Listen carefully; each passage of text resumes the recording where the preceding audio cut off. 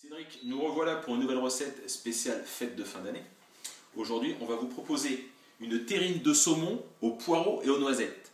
Donc il vous faudra pour réaliser cette recette 1 kg de poireaux, 400 g de filet de saumon, 125 g de noisettes, 3 œufs, 50 g de beurre pour la préparation, 20 cl de crème liquide, toujours pour la préparation. Ah bah ça, ça fait pas partie de la recette, je sais pas pourquoi c'est là et à peu près une cuillère à soupe d'œufs de truite. C'est important, des œufs de truite.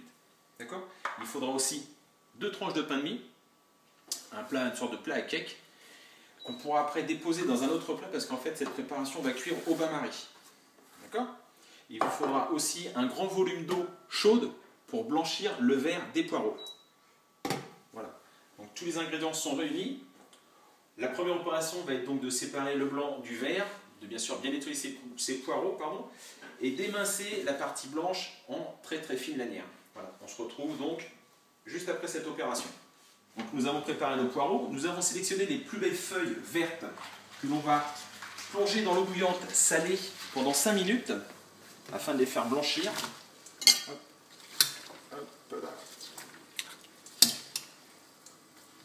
elles sont un peu récalcitrantes mais elles vont vite.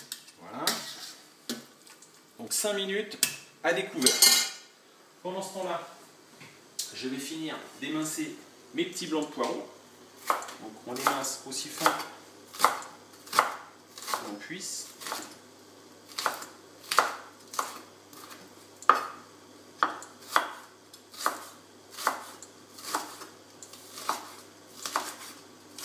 Et voilà. Donc dans une casserole avec les 50 g de beurre, nous allons donc mettre nos blancs de poireaux à étuver, là que ça va bien réduire tout ça.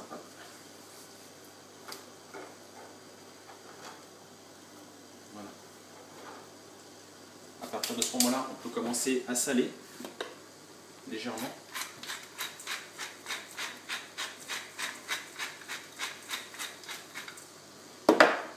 Et à poivrer. On rectifiera l'assaisonnement par la suite. Donc les verres de poireaux sont à blanchir pendant 5 minutes. Au bout de 5 minutes, on va les retirer et les mettre dans un bac d'eau froide pour stopper la cuisson. Pendant ce temps-là, on est en train de faire suer nos blancs de poireaux. Voilà, donc ça va prendre quelques instants. On se retrouve à la fin de cette opération. Donc nos poireaux sont toujours en train de suer, donc on, retourne légèrement parce qu'il faut éviter dorer. Hein faut euh, idéalement qu'il soit translucide. Vous voyez, j'ai commencé à les laisser légèrement dorés. C'est pas trop grave en soi, mais il fallait éviter. Donc là, nos feuilles de poireau, donc le verre du poireau est donc cuit. On va l'attraper. Va être prudent parce que c'est bouillant. Excuse-moi Cédric, on va attraper ça. on attrape les feuilles de poireau on évite un peu le maximum d'eau chaude et on les plonge tout de suite dans de l'eau froide. Voilà.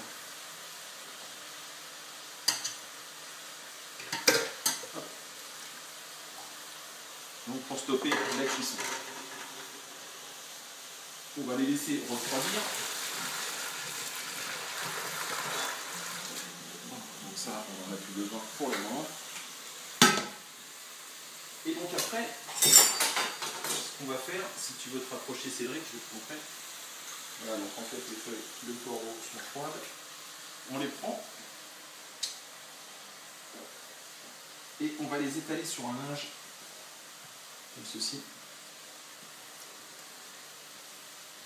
pour les assécher. Donc on les ouvre bien, on les positionne.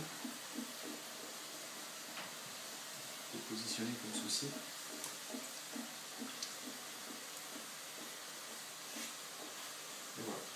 Donc je vais faire le reste. En attendant qu'on assèche bien nos poireaux, je vous propose de faire une petite pause et on se retrouve juste après. Donc on a mis euh, toutes nos feuilles de poireaux, donc le verre du poireau à sécher, donc vous voyez, entre deux torchons, je vais rajouter donc un dernier torchon. Et en fait on va presser pour vraiment évacuer un maximum de jus. Donc on les laisse sécher. En attendant, on va repasser sur les noisettes. Donc les noisettes, nous avons bien évidemment décortiqué. On les a grossièrement concassés avec un pilon, comme ceci. Et on va les mettre à torréfier dans une poêle chaude. Voilà, tout simplement comme ceci. On va donc les laisser griller. Dès que ça commence à avoir une bonne odeur de grillé, on peut s'arrêter. En attendant, nous allons continuer notre préparation. Nous avions donc deux tranches de pain de mie sur lequel j'ai ôté tous les bords. Je vais vous faire la deuxième, comme ceci. On enlève le bord. Qu'il ne reste vraiment que la mie. Voilà. Couper grossièrement.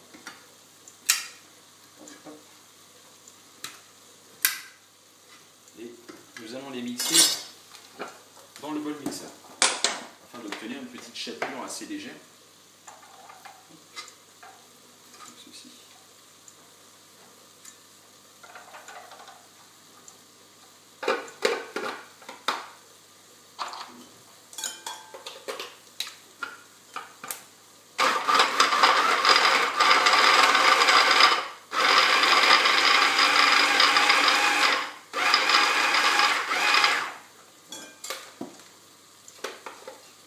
nous avons donc une petite chapelure de pain de mie très légère qu'on va réserver de ce côté.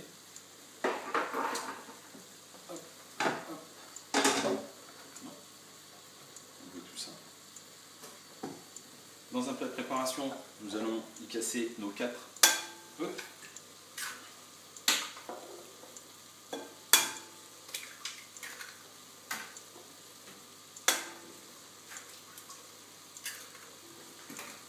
bien faire attention surveiller quand même qu'elle grille pas trop du même côté. Bon, ça commence à sentir très bon. On surveille en même temps nos poireaux qui sont toujours à réduire. Passe vraiment très bien pour eux. C'est ça comme ceci. Donc, nos 4 œufs, nous allons y rajouter l'équivalent de 20 centilitres de crème fraîche liquide.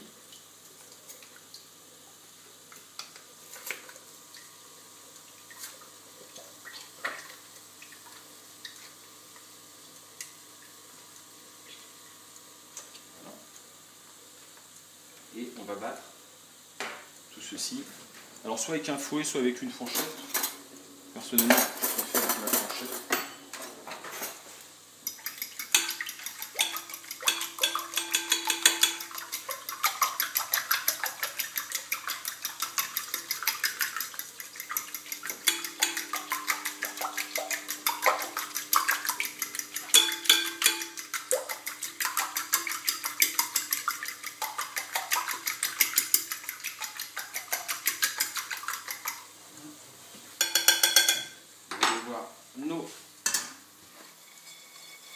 Voilà, là ils ont quand même bien grillé là, donc on va s'arrêter là.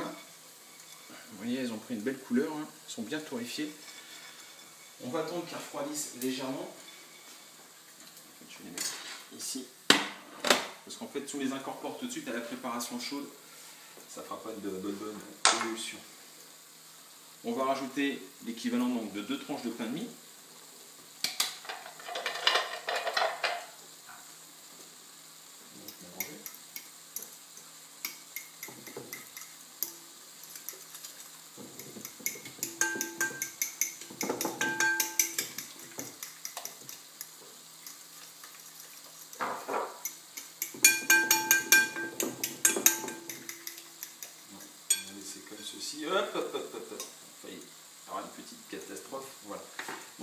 On va terminer nos poireaux. On va donc attendre qu'ils refroidissent légèrement parce que si on les incorpore, ça aura tendance à cuire un peu la préparation. Et pareil pour les châtaignes. Euh, les châtaignes, pardon, les noisettes. Ok, donc à tout de suite. Nous avons donc mis nos poireaux à refroidir. Et donc pendant que ça refroidit, on va chemiser notre plat avec les fameuses petites feuilles de poireaux. Alors, notre huile, les 15 grammes de beurre qui nous restaient, en fait, on les a fait fondre. On va légèrement beurrer notre plat.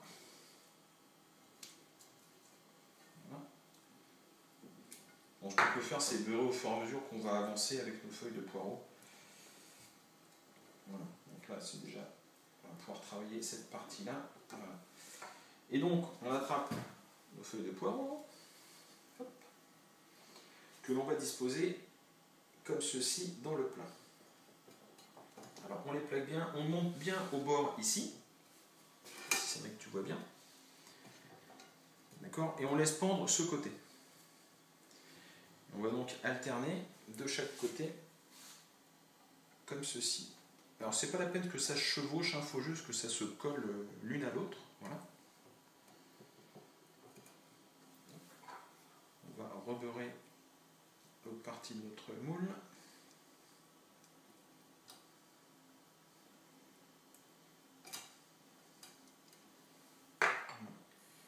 Et donc on remonte.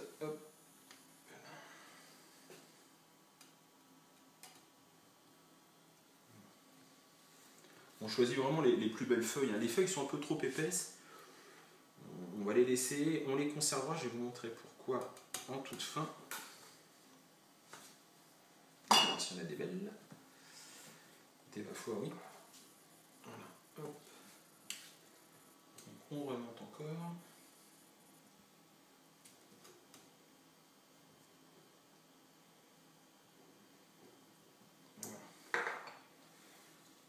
celle-ci, très belle.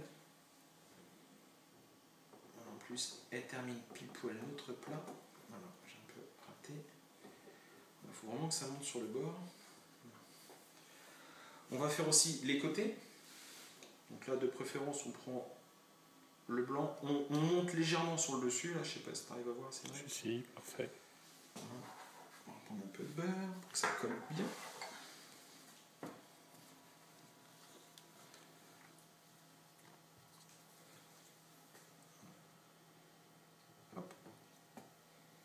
Ceci. Pareil de l'autre côté, alors j'en ai plus de j'en ai plus de vraiment très très belles.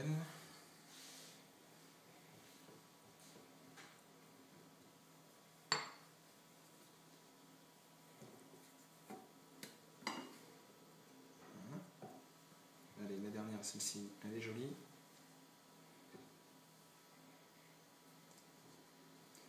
Et donc voilà, donc là notre plat est prêt être garni. On va donc retourner voir notre fondu de poireaux, qui a dû donc bien rafraîchir. Voilà, juste ici. Voilà, ça a vraiment bien refroidi. Nous allons donc incorporer nos noisettes grillées. On va rajouter la fondue de poireaux.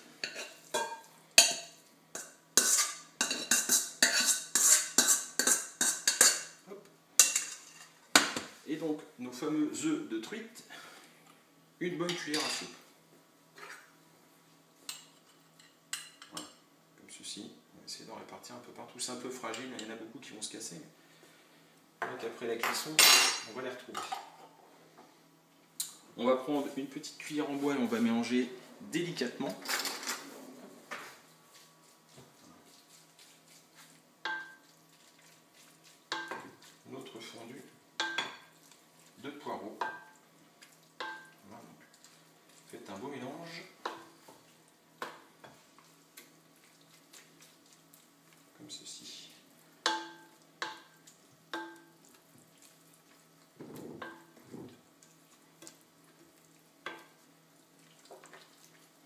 À préparer la place afin de monter notre plat.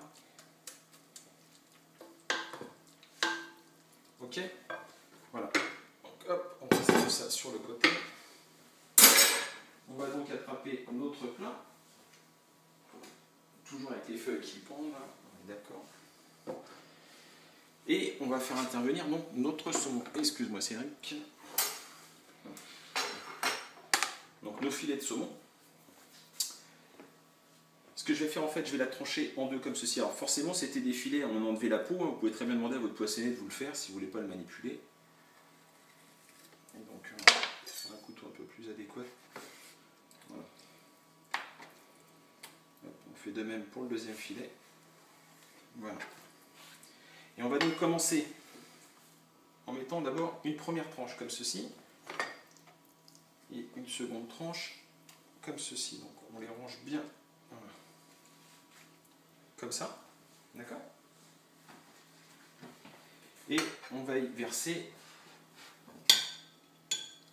la fondue de poireau. Alors je sais que c'est pas très pratique, Cédric, pour me filmer, mais voilà.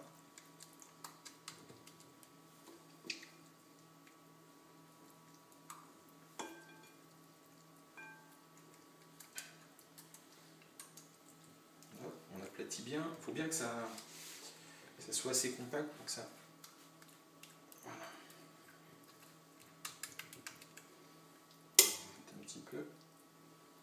ici. Là, on va rajouter un peu de sel. Alors là, je crois qu'on est au bout du rouleau pour ce sel-là. On va devoir passer avec celui-ci.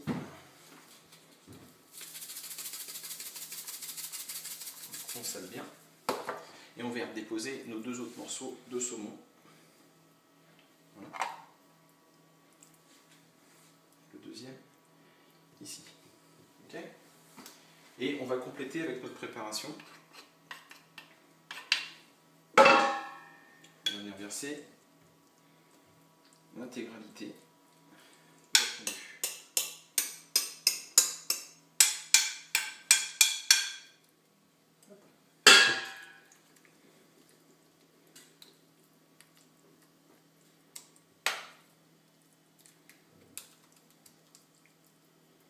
à ce stade, préparation est quasiment terminée. Hein. On va donc refermer comme ceci. Voilà pourquoi en fait il fallait conserver l'intégralité. Voilà. Voilà. Et voilà. Alors bien évidemment, il faut que ça soit un peu plus esthétique, on va quand même couper ce qui dépasse.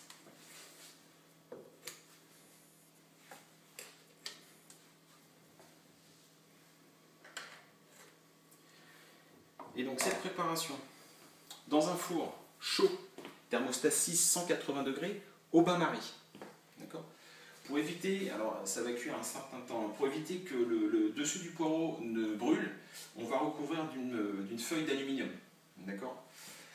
Je vais terminer de préparer tout ça, le bain-marie, parce que bon, c'est pas très intéressant, tout le monde sait faire un bain-marie, et on vous présentera euh, la mise au four. Voilà, à tout de suite.